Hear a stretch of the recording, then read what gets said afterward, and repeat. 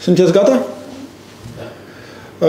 Bună ziua, stimați cetățeni! În primul rând, salut azi pe agricultorii, mai ales cei care protestează și protestează pe bune.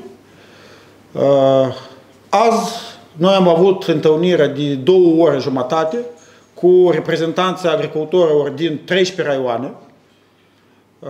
A fost solicitarea dânșilor, după cum cunoașteți, ieri au venit cu declarație că vor să întâlnească cu liderii fracțiunilor și au venit, din punctul meu de vedere, absolut constructiv și profesionist. Nu a întrebat fiecare fracțiune în parte. Am fost patru fracțiuni, trei, trei lideri de fracțiuni și, și apasul a fost domnul Bolea, nu a fost șeful fracțiunii. Uh, au întrebat pe fiecare fracțiune în parte dacă ei, uh, fracțiunea susține revendicările lor în contextul unor schimbări.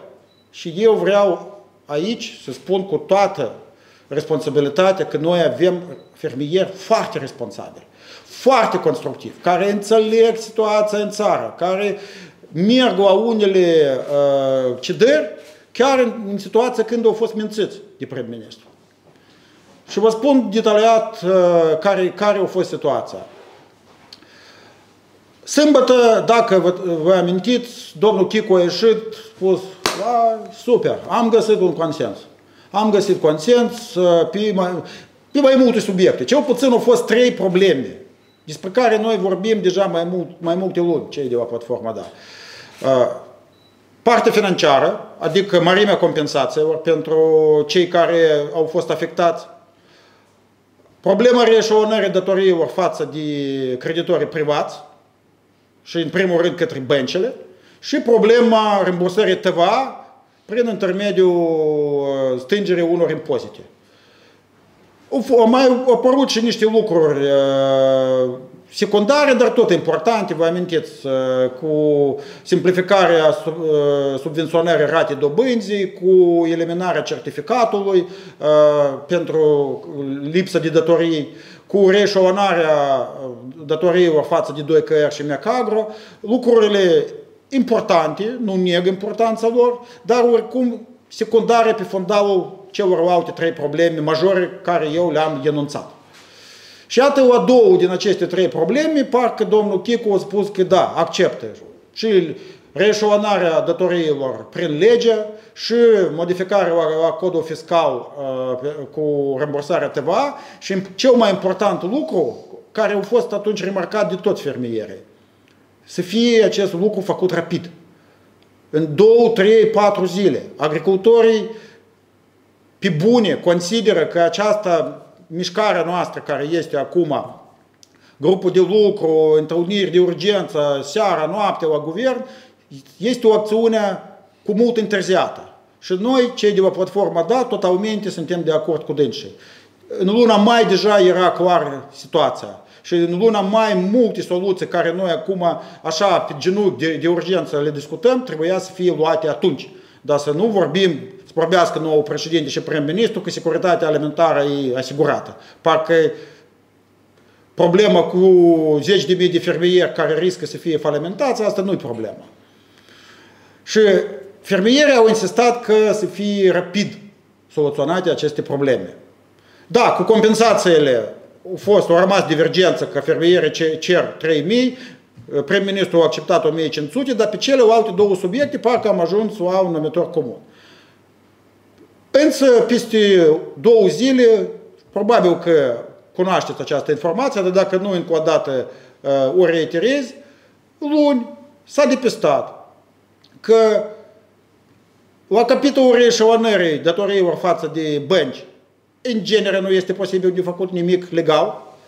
Și eu încă o dată repet și am vorbit și chiar și unii colegi din grupul de lucru spuneau că proiectul de lege, iată, apare, nu știu ce, acest, această lege nu va fi. Nu va fi. Eu luni foarte clar am înțeles poziția guvernului, poziția băncii naționale, că FMI categoric este împotrivă. Această lege nu va fi elaborată și adoptată. Poate elaborată așa cum a propus domnul Chico. Haideți, domnul Slusar, în doi elaborăm această lege. Așa, într-o manieră de bătaie de joc. În derâdere, dar nu-i derâs acum situația. Dar iată, această lege nu va fi. În genere. Ce ține de rambursarea TVA, Proiectul de lege va fi probabil elaborat, însă la întrebarea noastră, lui domnul Pușcuță, care șanse că femeie o să dea aviz pozitiv, domnul Pușcuță a răspuns că cel mai probabil o să fie aviz negativ.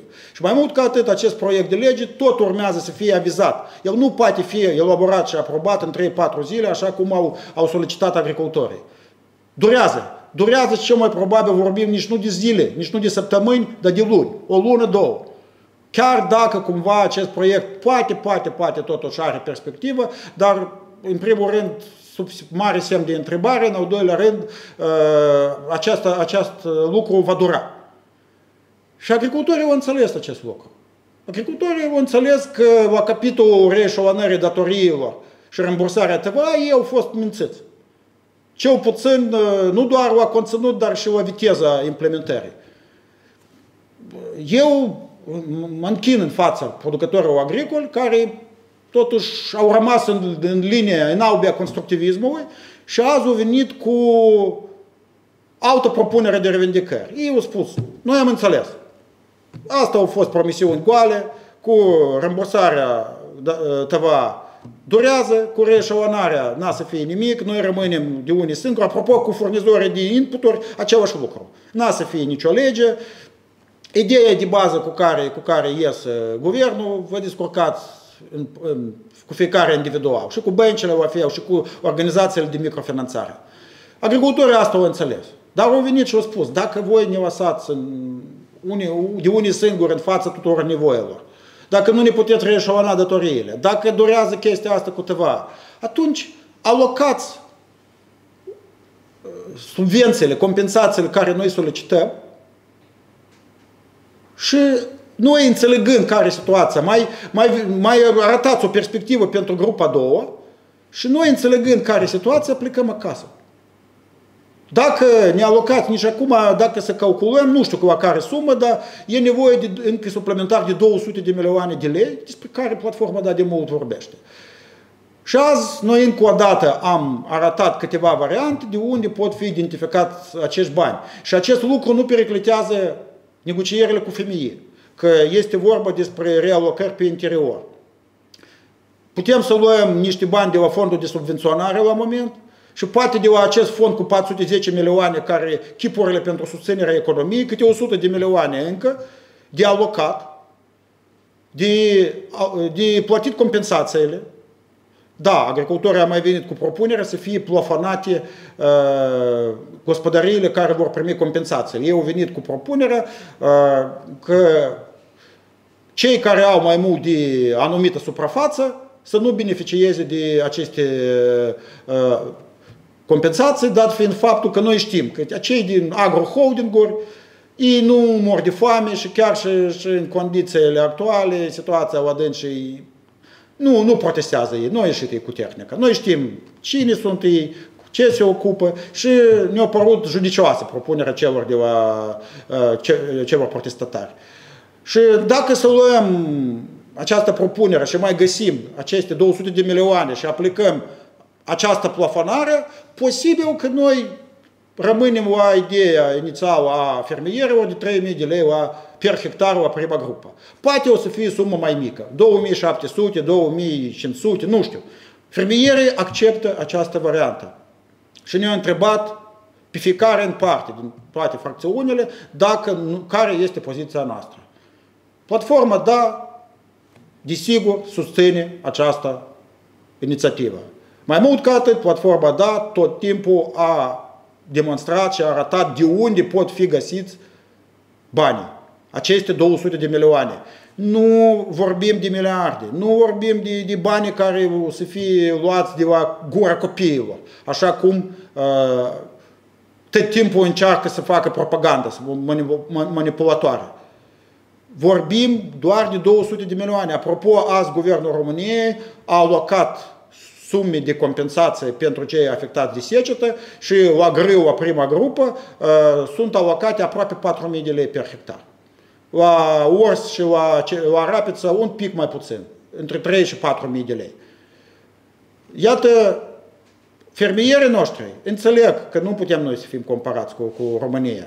Chiar dacă suntem vecini, chiar dacă încă nu de mult ei aveau probleme similare cu ale noastre, dar ei solicită, iată, acest lucru.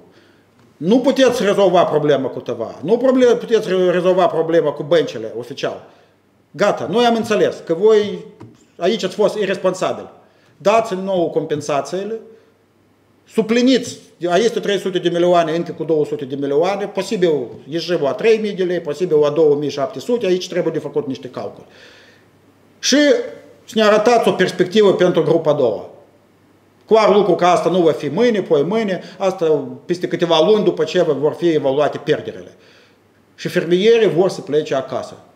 Dar fără, fără acest lucru, înțeleg că acest lucru nu este posibil. Ei rămân aici. Și iată, în jurul acestor propuneri foarte constructive din punctul nostru de vedere, azi a fost toată discuția. Platforma, da, insistă la propunerile agricultorilor. Și încă o dată menționăm acest lucru. Îmi pare bine că noi avem agricultori responsabili, care nu se ocupă cu populism, nu se ocupă cu politizarea. Apropo, au fost reprezentanțe din diferite partide. Iar a fost încercarea de a atribui protestul platformei. Da, e, mă rog, eu deja m-am deprins cu chestia asta. Nu, nu vreau să comentez, dar au fost oameni din diferite raioane și din diferite partide. Spun sincer, mă mândresc cu prestația fermierilor, mai puțin cu prestația politicienilor. Da, ei sunt foarte supărați pe prim-ministru, că dialogul a fost ieri foarte arogant, foarte scurt, în mod de șantaj, care prim-ministru a spus că dacă voi nu terminați cu aceste variante, nici este 100 de milioane nu le primiți. Parcă banii de la dânsul în parte, sau de la Dodon. Sunt banii contribuabilor și banii nu de la copii, repet încă o dată. Banii care sunt prevăzuti în fondul de subvenționare și mai sunt banii încă în, în uh, fondul pentru așa zisă susținerea economiei, de unde pot beneficia și supermarketuri, și uh, Metal Ferosa, și Union Fenosa, și, și orice întreprindere care nu a suferit în urma pandemiei, și companiile petroliere. De acolo vorbim, de 200 de milioane de acolo. Și acest lucru este permis de femei. Femeii au spus, dați cât vreți la agricultură, numai nu majorați deficitul. Și noi propunem re, realocarea acestor bani. Va fi încheiat contractul cu femeie. O să, o să aibă frâu mai liber uh, guvernul. Sunt alte variante ca, unde poate de modificat și de, de, de adus banii înapoi. O să fie iarăși creditul de urgență, posibil de la Banca Mondială. S-a discutat azi și agricultorii insistă să fie adresare către Guvernul României de urgență și eu nu înțeleg de ce nu face acest lucru Guvernul. Guvernul României, chiar și în aceste condiții grele, poate să ne ajute. Și eu tot iarăși văd aici un lucru geopolitic. Numai uh, argumentul că voi ați blocat creditul rusesc.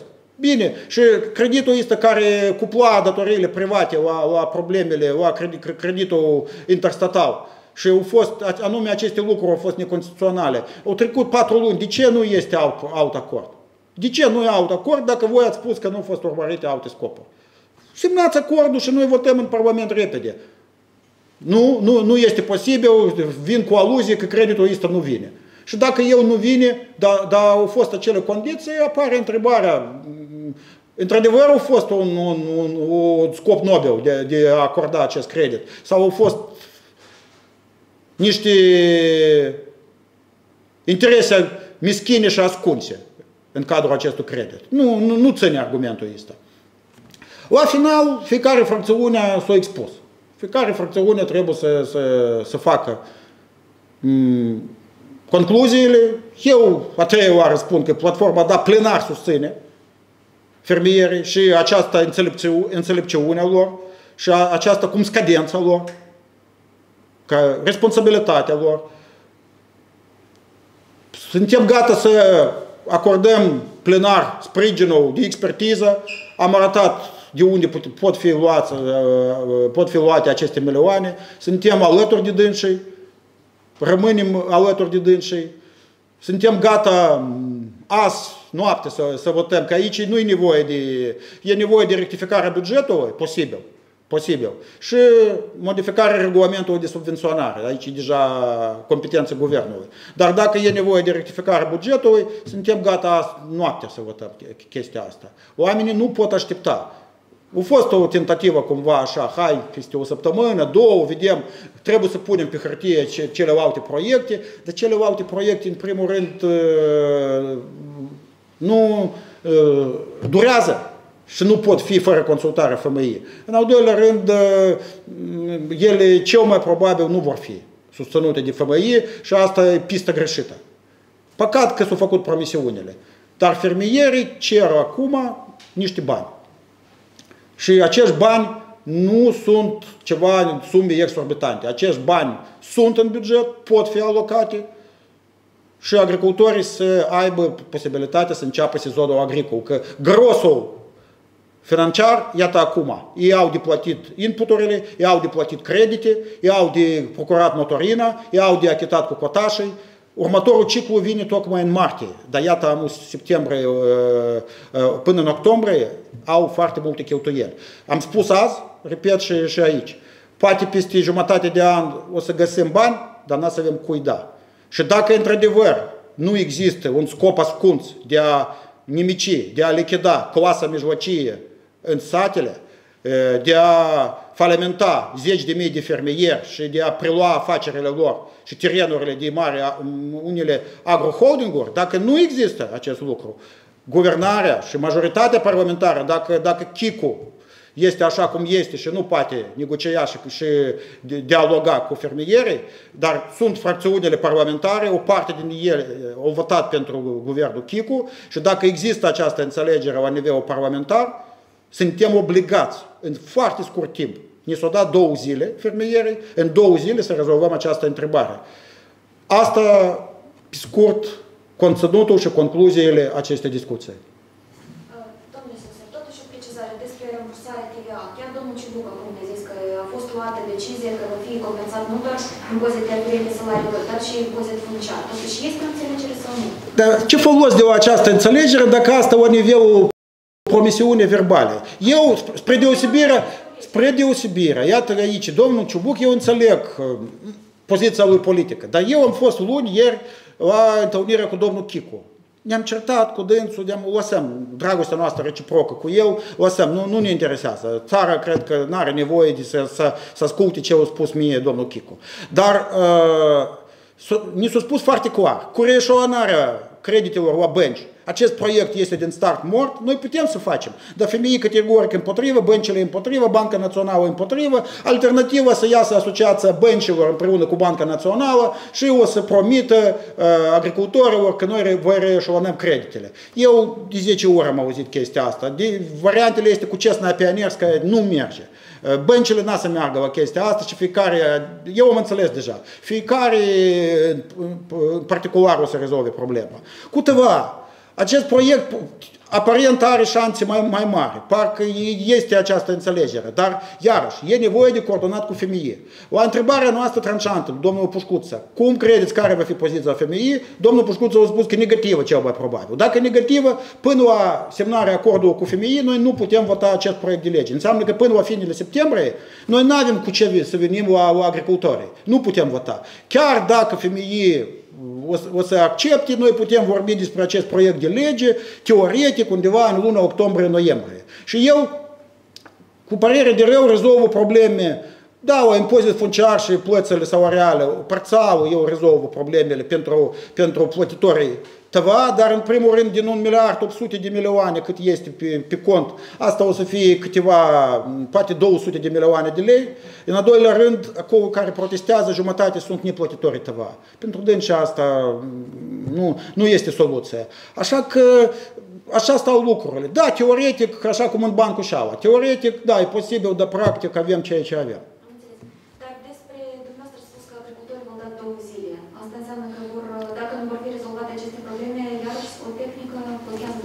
Eu nu știu ce, ce o să facă. Așa a fost înțelegerea la final, asta o, s-a exprimat și domnul Diacov, dați-mi nouă ziua de azi, mâine, Așa agricultorii, cineva a vrut chiar azi seara să fie chestia asta, eu înțeleg pe dânsii, tensionată situația la sate, cineva mai are de recoltat, recoltă e foarte slabă, dar oricum să pornesc floarea soarelui, porumb, măcar ceva trebuie de făcut acolo și agricultorii nu sunt deprinși să stea săptămânile aici cu tehnica. Este acțiunea politică, nimeni nu stă în spate și ei înțeleg foarte bine. De atâta, pentru dânsi fiecare zi importantă. Și sâmbătă, asta a fost chintisența discuției. Ei nu doar că am identificat, noi nu doar că am identificat soluțiile, dar noi am spus că trebuie rapid să fie aplicate soluțiile. De atât, agricultorii nu pot aștepta până la Sfântul așteaptă săptămâna viitoare, peste două, peste trei, peste o lună, când se vor finaliza negocierile cu FMI, ei vor soluție săptămâna aceasta. Adică a oferit guvernării două zile, mai departe care va fi decizia lor, nu știu. Și vreau să vă întreb totuși tot domnul Cicuc a zis că parcă este o înțelegere, cel puțin să discutați așa o propunere a fermierilor despre voucheri la bancă, adică că se iei de la bancă din sumele de lichidități. Adică că acești bani vor fi întorși de stat mai târziu când o să aibă statul bani. Dumneavoastră cum vedeți?